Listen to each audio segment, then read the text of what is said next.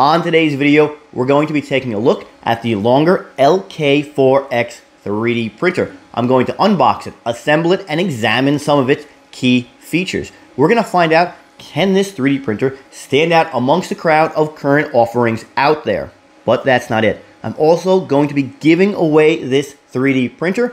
All the information is going to be towards the end after the technical info we go over, so stay tuned. And here we go.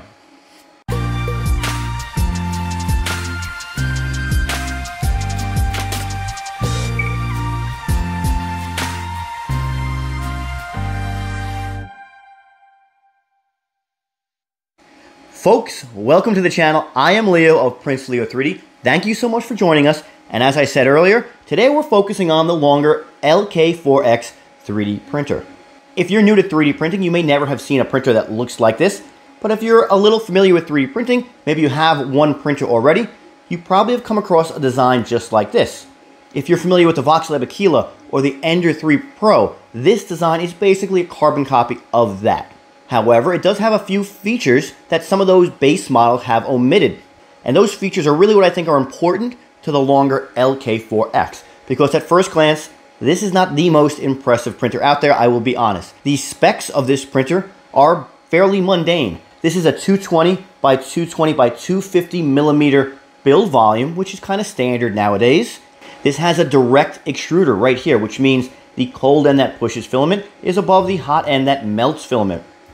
Above that is a filament runout sensor that determines if there's filament constantly going to your nozzle while you're printing.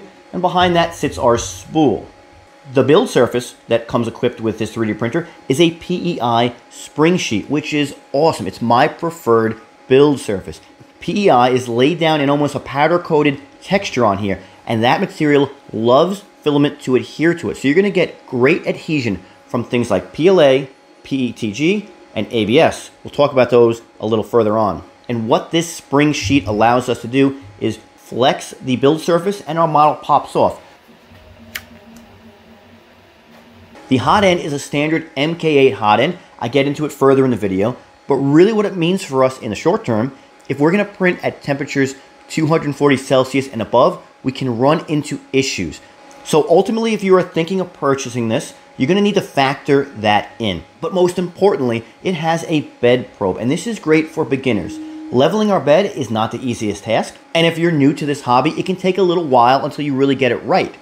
What this bed probe does is assist you in leveling your bed. Not directly, but indirectly. You still need to manually level your bed. What the bed probe does is take height measurements from your bed. The 3D printer turns those measurements into a map of the actual curves and nooks of your bed surface. So while you're printing for the first 10 millimeters of a model or so, the nozzle will be moved closer or further away from the bed to account for any warpages or any bed leveling errors. This bed probe is going to help us get that last 10% when we can't quite level our bed enough or our bed is warped where even if we leveled it to the best degree we could, we still aren't getting those great first layers. That bed probe really shines there. That's why I think this is a really good option for those who are beginning to 3D print.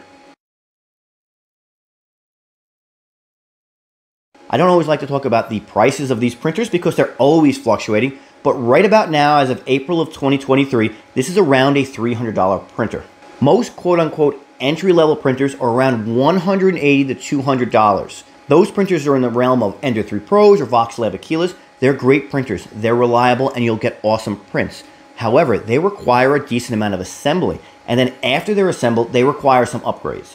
This printer comes mostly pre-assembled. You should only have to take around 15 to 20 minutes to assemble it. And then all those upgrades that I recommend on those more inexpensive printers, they've already been performed on this printer, which is why I feel this is a better 3D printer for beginners. But after the time I've spent with this, I don't really have a lot of bad things to say. My two biggest concerns are the hot end is a stock MK8 hot end. I recommend replacing that. And this filament holder is absolute garbage. I don't mean to be that rude. Uh, I'm sure someone took a lot of time to engineer that. But the joints that need to be reinforced are less enforced, that makes sense. And this filament spool really wobbles around a lot while you're printing. It just feels really weak, really unsecure. I don't know why they skimped on this filament spool holder, but they did. Not a game breaker, just kind of annoying. The hot end, however, is something I would look to replace if you were to purchase this. This 3D printer was given to me free of charge by zbanx.com. I wasn't paid for this. I wasn't told what to say. All my own thoughts. They don't get access to this video any earlier than anyone else does.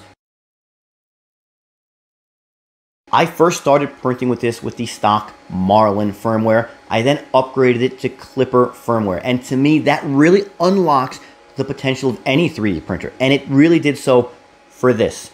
I was able to perform unique calibrations like input shaping, which lessened vibrations, pressure advance, which gave me more stable extrusion.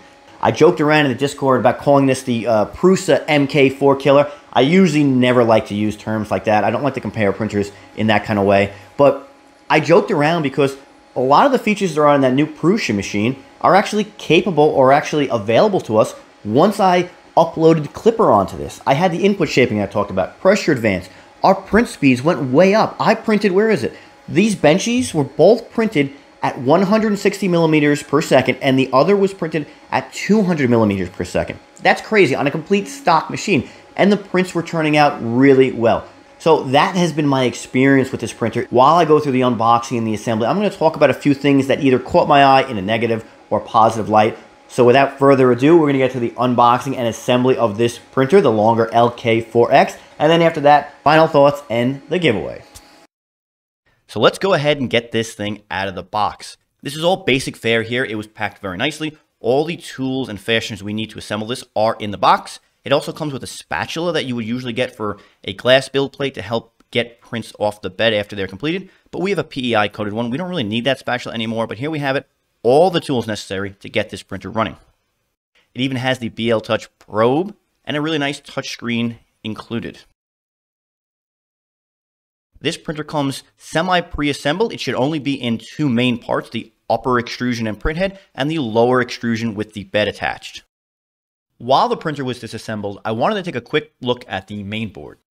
When the electronics case comes off, we get a nice view of the main board. Everything looks tidy, everything looks neat. That's a good thing. Another positive here was some of the connections weren't soldered ends, they were actually cables. That was really good to see on these larger voltage wires. Interesting inclusion also was this row of GPIO pins. Not really sure what we can use that for yet, but it's something to keep in mind. Now we start by just mounting the upper and the lower parts of the pre-assembled printer. I'm using a carpenter square here to make sure everything is square as I tighten up the four screws that are going underneath the bottom extrusion to hold on the upper extrusion. You want to go through this the first time and get it semi-tight, and then follow through one more time and tighten it up fully. Next is the filament sensor and mount, and they get attached to the top rail. When you attach this filament sensor, you want to make sure that the arrow is pointing down towards the bed. That's the direction the filament's going to move. And then this filament holding mount. And to be honest, this is the cheapest part of this entire assembly. I'm going to print a replacement if I haven't already.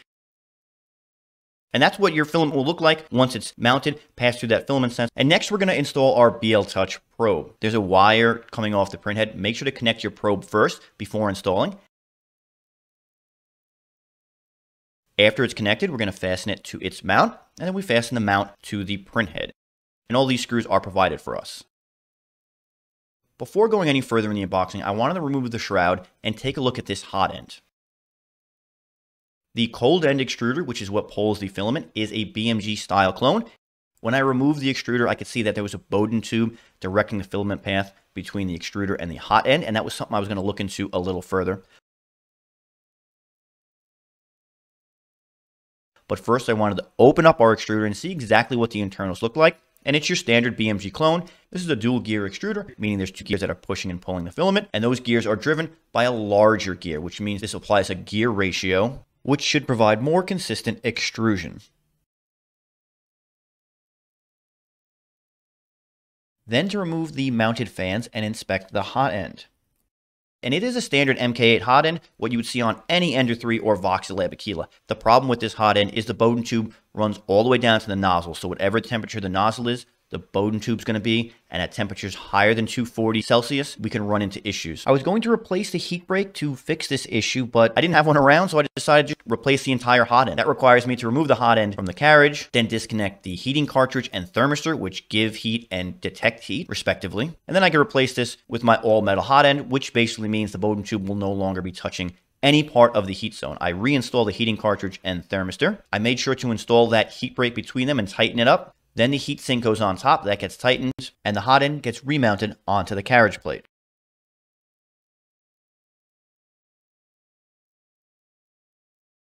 Because the Bowden tube's not going as low as it used to, I had to just remeasure it and adjust it, and then I lay the cold end extruder right on top. I remounted the fans and I tightened the extruder, but I want to leave the shroud off for now because there are some calibrations I'm going to perform that require it to be loose. Next is the screen wrapped in cellophane, and there is a huge sticker to remind us we need to set the voltage on our power supply. So let's do that right now. Power supply nestled under the bed, there's a gigantic sticker over the voltage selector, which I think makes it harder to see for whatever reason.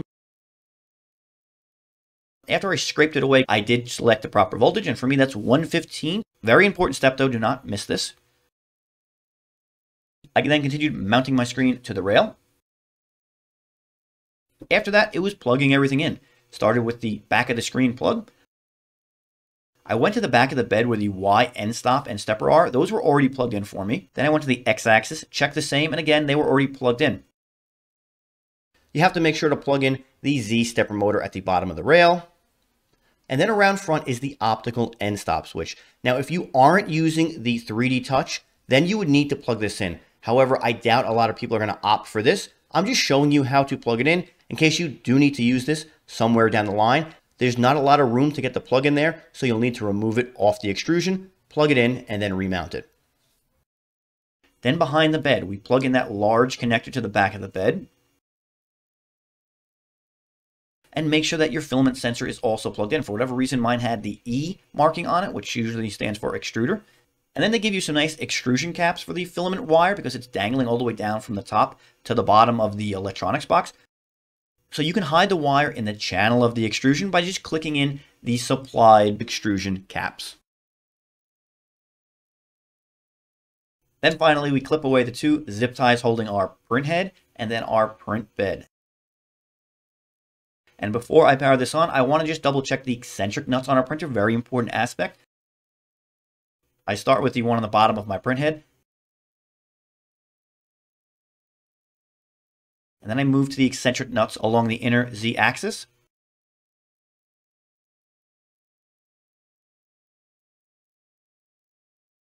And then finally, the two that are under my bed, and those are located on the side of the optical switch. That's all the calibrations we can do while the printer's powered down. So now let's power it on and continue. Before printing, the first calibration we're going to perform is an E-step calibration. And that calibration ensures our extruder is pushing out the exact amount of filament we're asking it to.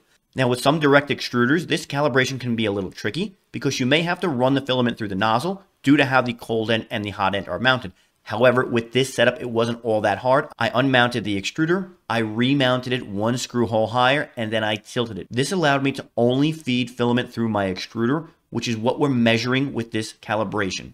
Now, in order to extrude, we need to bring the temperature up on the hot end. I brought it to 200 degrees Celsius.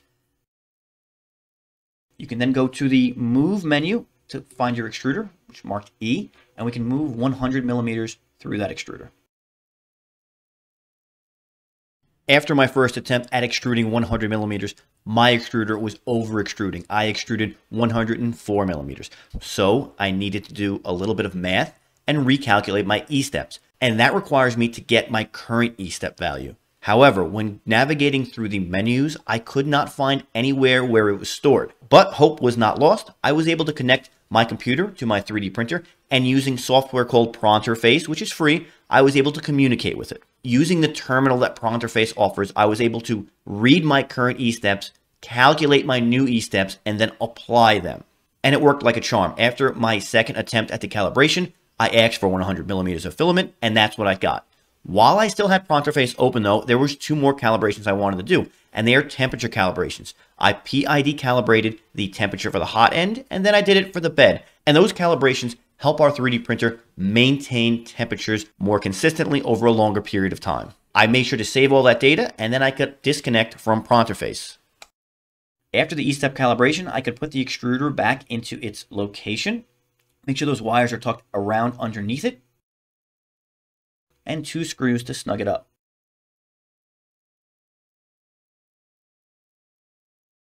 And because I put a new extruder on, I have to do this, but I normally do this anyway, and that is to heat tighten our nozzle. And in order to access the nozzle, I have to remove this one parts cooling fan.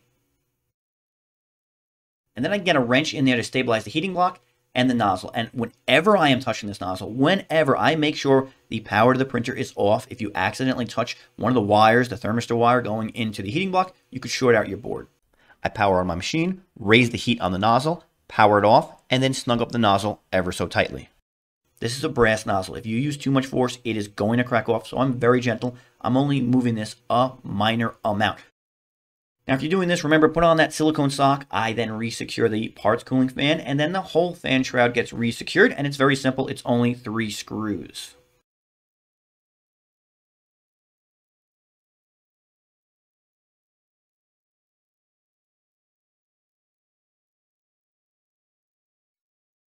and then take a look at the belts. We want them to be snappy, not sagging. Longer has provided the belt tension on both the X and the Y axis to tighten these up.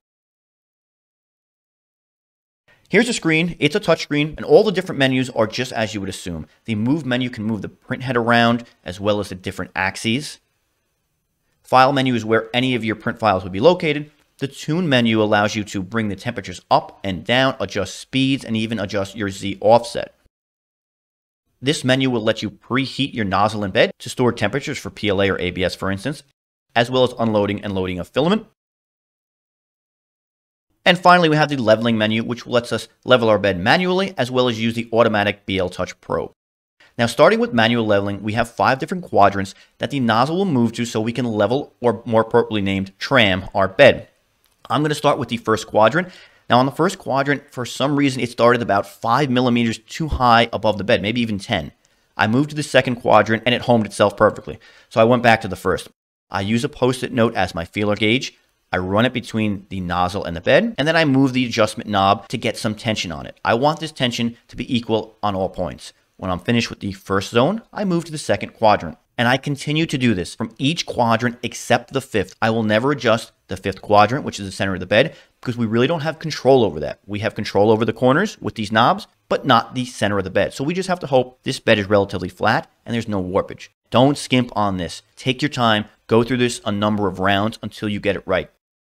After you get the bed level, we can start creating a mesh with our BL Touch probe.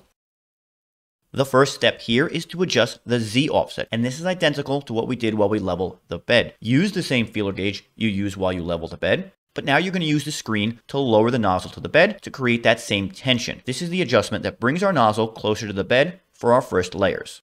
After you save that data, the BL Touch will begin to probe the bed in 16 locations and it's collecting height information. This will create a virtual topography of our bed and that information will be used during our first 10 layers or so of printing to adjust the nozzle to the actual contours of our bed.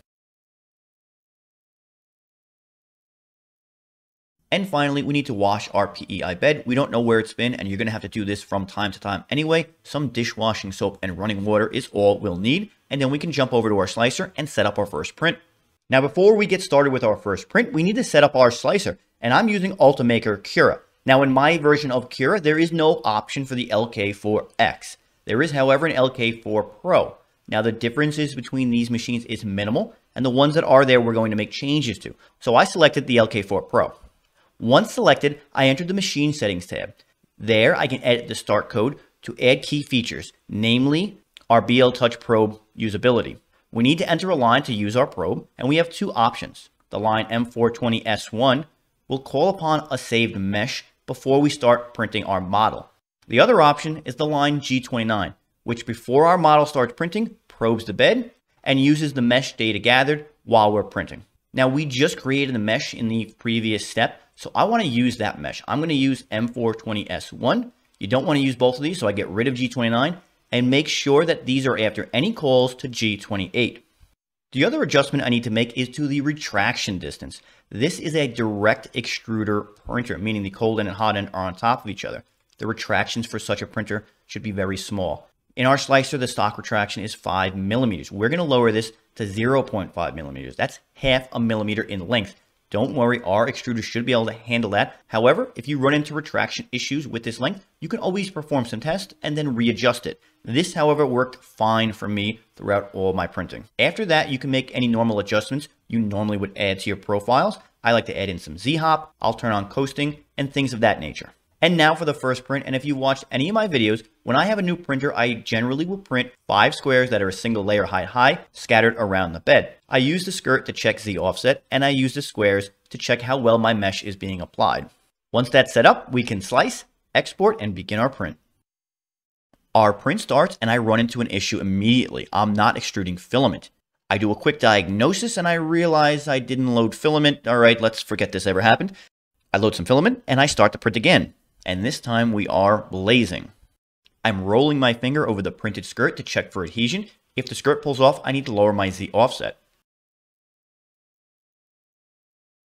The cubes that get printed are going to represent how well my bed mesh is being applied. I want them all to look uniform, and these printed wonderfully. That means all my probe values are working as intended. And now I can move on to printing a model, and my first one is an XYZ calibration cube. This is a simple 20 by 20 by 20 millimeter cube that can show you how well your printer is operating, and the Longer did a great job with this. The next print I tried was a calibration Charlie, and this time I wanted to check my filament runout sensor. I clipped my filament while I was printing, and the runout sensor triggered like it should. It parked the nozzle in the corner of the bed, it kept the bed heated, and it allowed me time to reinsert new filament.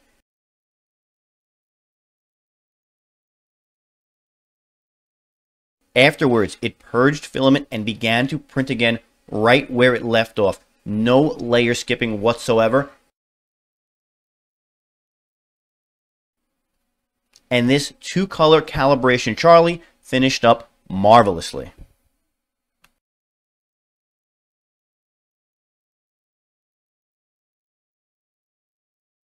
For my next print, I wanted to try a different filament type, and I chose PETG.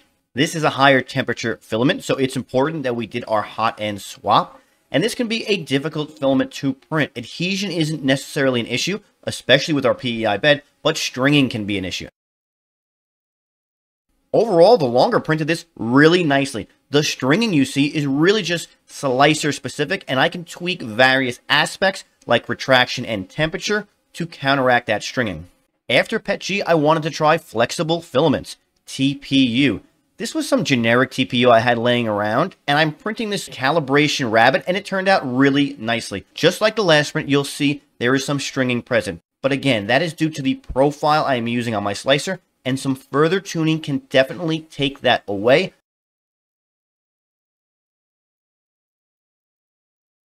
Print after print, they all came out well. This next one was a TPU grill that I practically maxed out the build volume for. I was printing in silk PLAs. Everything turned out so well. I was really happy with how this was printing. After taking it through its paces with the stock Marlin firmware, I wanted to upgrade it with Klipper firmware. I had a Raspberry Pi 3 that was laying around that already had Klipper installed. So getting this running was as simple as using the Pi to create a Klipper firmware file that I could then transfer to an SD card and upload to our 3D printer. It was so simple.